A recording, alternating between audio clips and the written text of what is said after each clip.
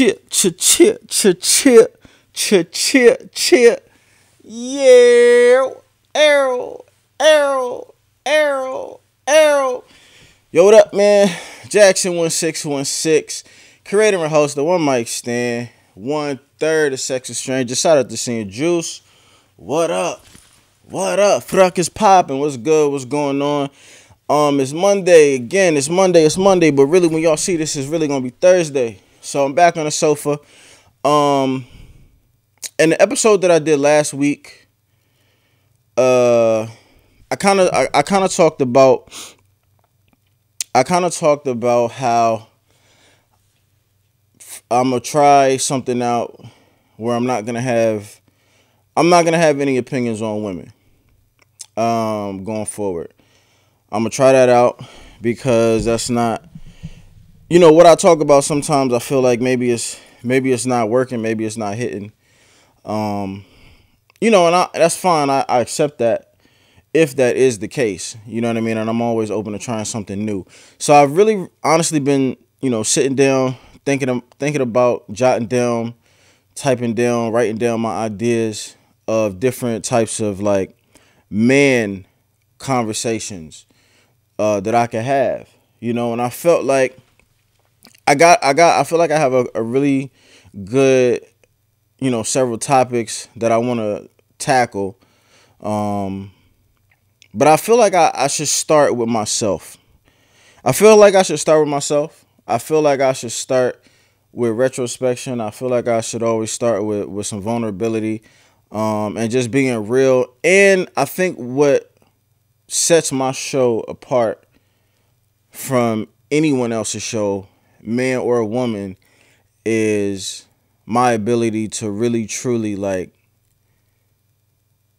accept my insecurities but to talk about them you know what i'm saying? Like i i accept the things that i don't necessarily love about myself but i feel like some of the i feel like i can relate to a lot of other people. It's just that other people may be afraid to kind of like talk about these things. So I said, fuck it, man. I'm gonna start with myself. You feel me? I'm gonna start with myself. I'm gonna start um I'm gonna start the man shit and tell y'all how I feel. Cause I'm a man. So I'm not gonna bounce these conversations off of anybody else. I'm gonna bounce them shits right off of the mirror. Um, and the first thing that I could think of, like I said, was not necessarily things that that men feel insecure about, things that I personally, Jackson, uh, feels insecure about. Um, and I figured just like right away, man, we just we should just right away jump jump to some real shit. You see the title. You read the title, you see the title. Some of you laughed, some of you called it gay. Some of you said, get the fuck out of here. Some of you said, oh shit, that sucks for you whatever, whatever, man. But I do wish I do wish my dick was bigger. I do. And that's not to say that it's that's not to say that it's not good enough. It's not to say that's not to say that it's inadequate. But I think like as a as a guy, I think as as a guy, as a as a man, even sometimes as a boy, there's something I don't know if it's societal pressure. I don't know if it's this whole like patriarchal thing that everybody likes to refer to, but it's something that males tend to attach their machismo, their pride, their manhood in general, their boyhood, their manhood, whatever, just with this with this one body part. You know what I mean? And I don't know if that's I don't know if that's right. I don't know if that's wrong, but I just feel like that's reality. Um and I think that that's really fucked up. And I think that is I think that is unfair. Let me let me name some other things, man. Before before I really start. I do wish my dick was bigger. I do wish I was taller. I do wish I was slimmer. I wish I was more handsome. I wish I had abs. I wish I had better connections. I wish I had I wish I had uh better sex. I wish I was a better athlete than what I was, and I was pretty good. And I don't know if it's a strength or a weakness that I'm so aware of my weaknesses. Like, you know what I mean? Like, in a weird way, in a weird, odd way,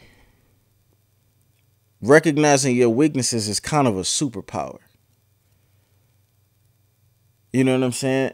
But it's almost like if you recognize your weaknesses and you focus on your weaknesses too much, like it could be your downfall as well. And as a man, as a as a black man, just kind of you know go, maneuvering through life, it's a lot of things as as black men that we are expected to be. Um, our stereotypes. Some are some are super negative, but then some are super unattainable. Um, and that's that's a that's a tough that's tough. And when I say unattainable, it's like we all know our negative stereotypes from within the culture, from out, you know, even the ones that come from outside of the culture. But let's think about like the let's think about like the positive stereotypes that you could be looked at negatively if you don't fit all of these positive attributes, right? Where it's like all black men are strong. All black men are attractive. All black men are handsome. All black men have God given amazing bodies. All black men are uh are fucking porn stars. All black men is gonna fuck the shit out you. All black men got BBCs. All black men got big dicks. All black men got swag. All black men got style. All black men can dance. All black men got great music taste. All black men are cool. All black men are athletic. I don't know if I mentioned that. All black men could jump. All black men are fast. Like, all black men are creative. All super, super, super positive banging fucking attributes. But still at the same time, all stereotypes. All stereotypes. And it can kind of create just even from being a young a young boy, young man, teenager, growing up into a man. Like just how we hear negative stereotypes, we hear positive ones too. But what I think it does is like it makes you start to feel like if you don't live up to those stereotypes, the positives one the positive ones, then you're less not only less of a man, but less of a black man. You know what I mean? Like if I'm a black man who don't have a a a, a great body given given to me by God, if I'm not super athletic, excuse me, if I don't play if I'm if I don't play basketball, if I'm not fast, if I can't jump out the gym, if I can't dance, if I don't have no rhythm for real. Like now it's like it's not like it, it can't just be the fact that I have a lot of talents, but just some of my talents aren't in those specific categories. Now it, it's to the point where I'm not black. Oh, you not black for real? You can't dance. You not black for real. You not cool. You not black for real. You don't. Oh, you don't like this particular artist. You don't like rap.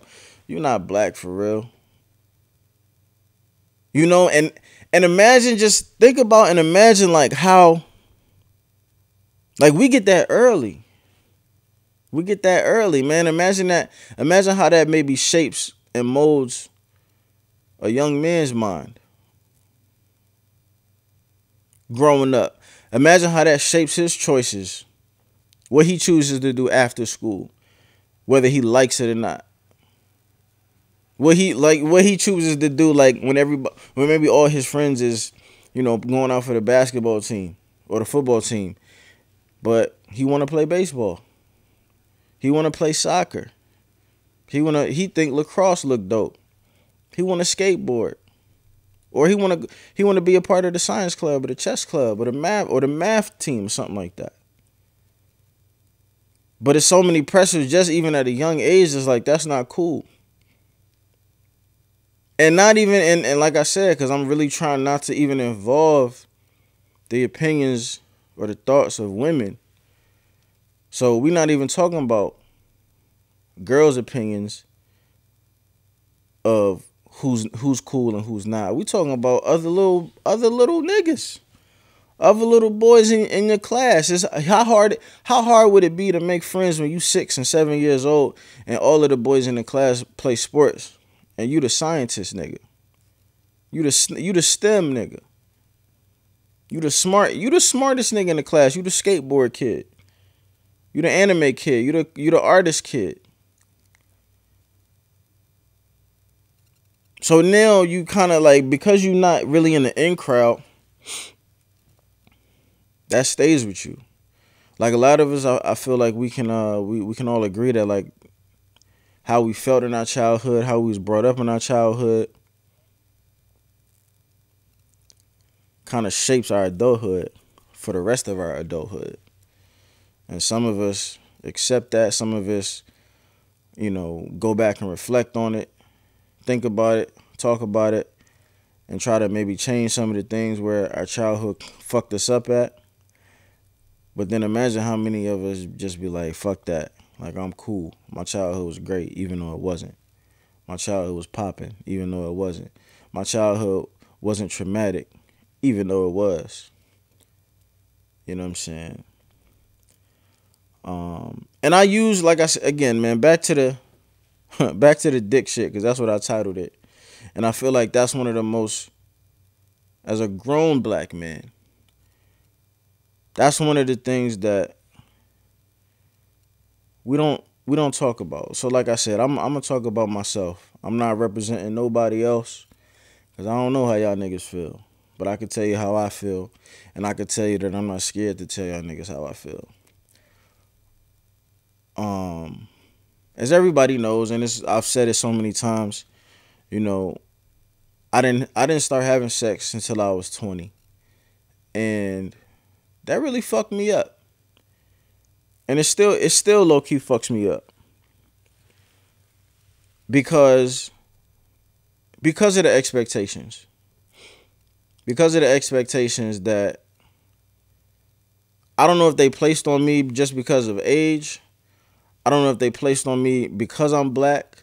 I don't know if they placed on me just because I'm a man. I don't know if they placed on me because of all of those things because I'm a grown black man or I'm a grown black man who looks how how how I look, or I'm a grown black man who looks how I look and who has played sports his whole life, or because I'm a grown black man who looks how I look, who's also played sports all of his life, who also seems to have a pretty good rapport uh, with a with a lot of women. You know what I'm saying? I have a a lot of women who support me, a lot of women who are who I call friends, who I call homies. Um, and I have a I have a, a decent amount of women who I actually have, you know, had sexual encounters with as well, and all of them haven't been great. All of them haven't been great. All of them haven't been popping, and that's something that I, I think the vulnerable part is that's actually something that I think about. That's actually something that I give a fuck about. That's actually something that I, I care about. That's something that I've been embarrassed about. You feel me? But I also realize like it's certain things that I can't I can't do anything about. So how do you how do you go on living life positively when your insecurities are things that you know you can't change? Like how do you how do you do that?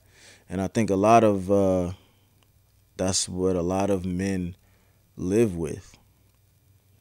A lot of men are trying to figure out and maneuver through life, trying to trying to get through life as a as a good human being, successful, professionally, personally, socially, romantically, whatever. Knowing that you got to walk around with these insecurities that you cannot change because they because they're they're physical. You know what I'm saying? Like niggas is not gonna get taller, bro. niggas is not gonna get taller. Niggas not gonna get more athletic. Your personality is your personality. You are who you are. You know, your mental shit is your mental shit. You can go to therapy. I don't know though. Some things I don't some things I feel like you you can't get rid of. You could just cope with. You know, and I feel like as uh as a black man, I feel like sometimes that's that's the space that's the space that niggas live in. Of how do I how do I cope with the things that I'm insecure about and not let them conquer my whole existence? How do I do that? How do I do that? How do I live and cope with my insecurities and still remain confident? Even though that there are clearly things in my life that I'm not confident about. That's why you call them insecurities. That's what the fuck they are. How do you do that? How do you do that in a in a world where where confidence is key? How do you do that in a world where niggas can smell confidence on you or they can smell whether you don't have it and then they and then people kind of like judge you for having it or not having it but people also judge you for for being insecure. But everybody has insecurities though. So how you how do you be how are you able to achieve confidence while having insecurities, while accepting your insecurities, but not being fake confident though? How the fuck do you do that?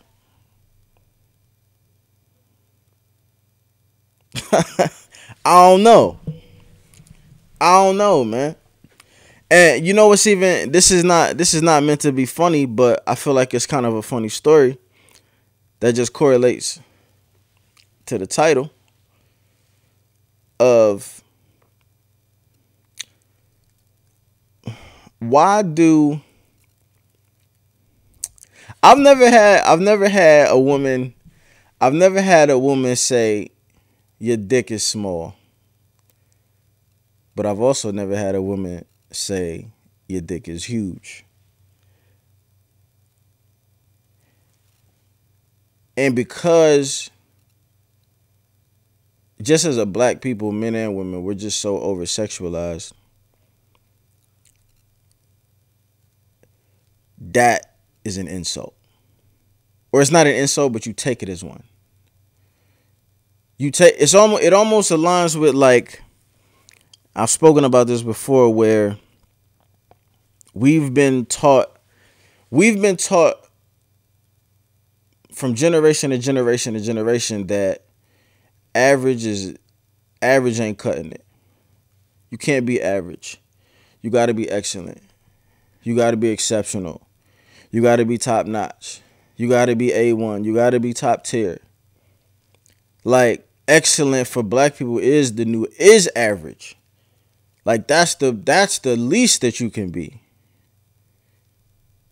And I feel like that has that trickles over into every facet of our life kind of sort of like in terms of how we how we look at things, how we judge things, how we compare ourselves, how we how we put ourselves or measure ourselves up to success or being successful.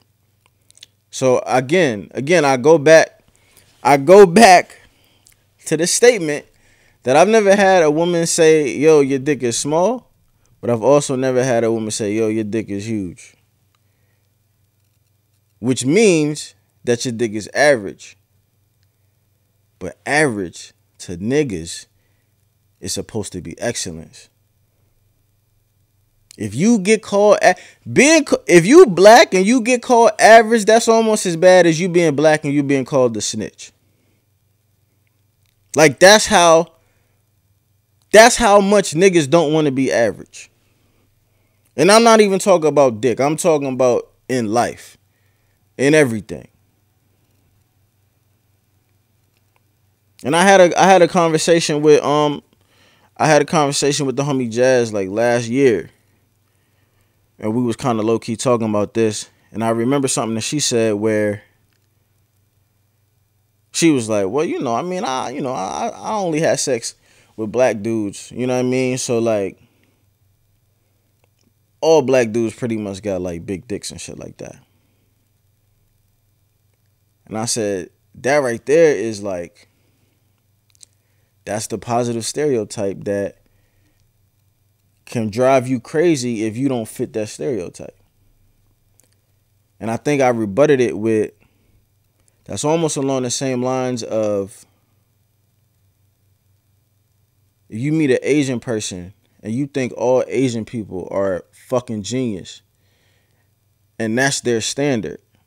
Genius is standard for Asian people, but then you meet an Asian person who's not a genius but they're intelligent, but they're not a genius, you're gonna be looking at them like, the fuck is wrong with you?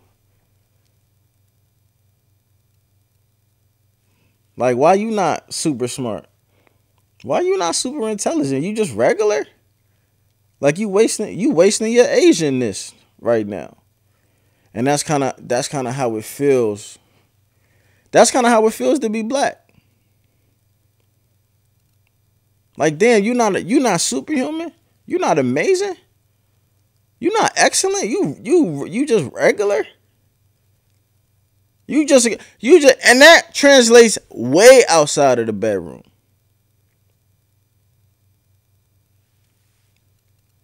You just got a regular job? You just drive a regular car? You just live in a regular apartment? You just you just fuck me regularly? You just got a regular dick size? You just got, you know what I'm saying? You just go out on regular dates? You just make regular content? You just run a regular 40 yard dash? Like it trickles down into every facet, bro. Like niggas really feel like you gotta be fucking superheroes just to have a shot.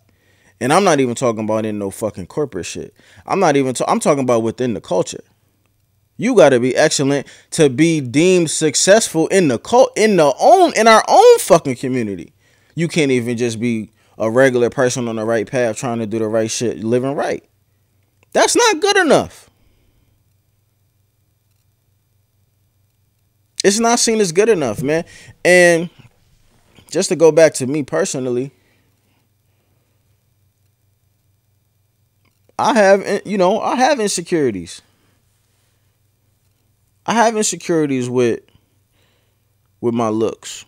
I have insecurities with my with my height, with my weight, with my hair, with my with the the size of my ears. you know what I mean? I have insecurity even even with my teeth. Like I, my mom got perfect teeth. Mine ain't as lit as hers. I got a little gap in my shit.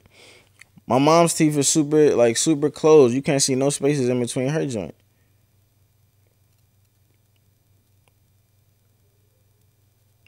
You know? I look at my I look at my stomach on a daily basis and be like, fuck. Like why why are you why why are you here? on a daily on a daily basis, right? On a daily basis, I when I come out the shower and walk walk in front of the mirror, I'm just like, damn, yo, I got I gotta run. I gotta run some more. I gotta run some more. I've I've been having to run some more for 36 years. And you know, I gotta accept like my body is my body. My body's my body. I you know, and it's it's really not gonna change. Not drastically.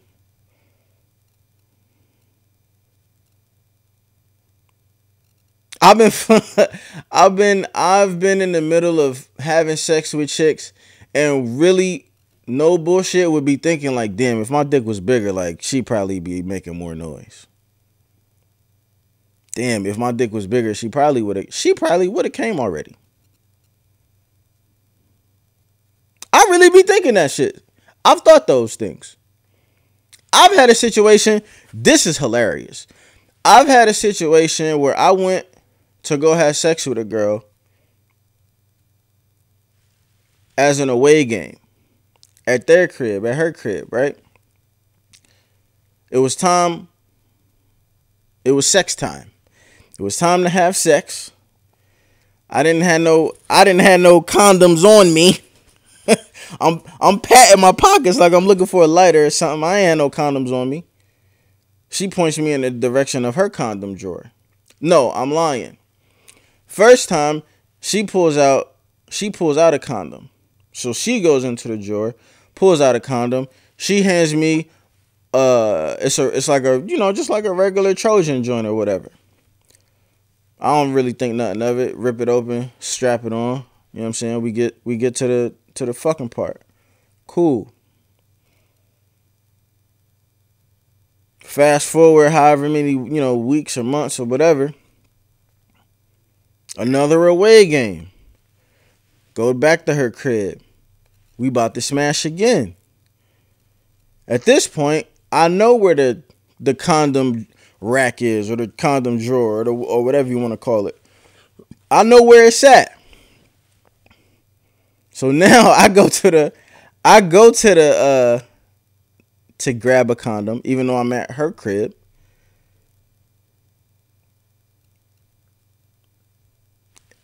It's magnums in there. It's magnums in the drawer. So now immediately my insecurities pop up. Immediately. My insecurities my insecurities kick in. Cause now I'm thinking back to the time where it was her opportunity to choose the condom and she had to do the mathematics in her head was like all right is this nigga magnum dick condom or is he regular regular average maybe mistake this nigga for a white person if he don't get a tan in so long regular dick ass nigga condom? Yeah he's that he's that nigga. Let me grab him the regular shit. I'm thinking i'm thinking of all of this while I'm about to fuck, mind you, which is makes it even more hilarious. And you know, that's just it's just an insecurity. And again, I think it's I think the deeper issue of what I'm I guess trying to get at is the importance of knowing your insecurities, recognizing them, acknowledging them, but then trying to figure out a way to maneuver through life successfully while you still have all of these insecurities. You know what I mean? And I think what a lot of I think what a lot of guys do I think what a lot of I think what a lot of men do is when we when we have something that we're we're not super confident about or we have something that we're insecure about, um, we suppress it, we push it down, we never want to talk about it. Um, or the way that we do talk about it is making self-deprecating jokes about it, which I definitely do a lot. I do that um, you know, we we we laugh it off. We laugh it off because really truly who who can we talk to about it? Who can we talk to about it where it's not weird? Who can we talk to about it where you're not judged? Who can you talk to about it where the person you're talking to, because I know the rebuttal is going to be therapy, but who can you talk to about it where the person you're talking to actually gives a fuck about you to where they can say it's okay to where you can actually fucking believe them and and feel less insecure about it. You get what I'm saying? Cuz I'm I'm a I'm a fan of I'm a I'm I'm not anti-therapy. I'm a fan of people, you know what I'm saying, staying on their mental shit. But with some insecurities though, you uh, if you're insecure about something, telling somebody who don't really have a dog in the fight, I don't really think is gonna help you too much. It might help you with the vulnerability part because you're because you're practicing getting it off of your chest, getting it off of your mind. You're practicing that part. You're practicing the vulnerability, but you're not really practicing attacking the insecurity of it. Because when I think about it, as I'm like as I'm speaking, as I'm talking, um, when you talking about trying to turn an insecurity to something that you're secure about, a lot of it has to do with acceptance, validation, but not from people that you don't know, from people that you do know, from people that you do love, from people that you know love you, from people that you know care about you. You know what I'm saying? Because like those are the those are the people that you want to be accepted by. And I think that that's what and that's why I tried to really really simplify it down to to sex because that's just something that we can all understand, we can all relate to. Um, we can all quantify that. You don't you know, you just you you always want to be accepted and wanted and liked and loved by the person that that's in front of you that you're going to be the most intimate with. A person who a person who is also giving themselves to you, like that's the person that you want to feel most safe around. And I I'm only speaking for me, but I'm assuming when I say that I really don't think that I could be the only nigga who has those insecurities when it's time to you know what I'm saying, lay down with somebody or when it's time to when you actually when you really like a woman or something like that and y'all get into it for the first time. Um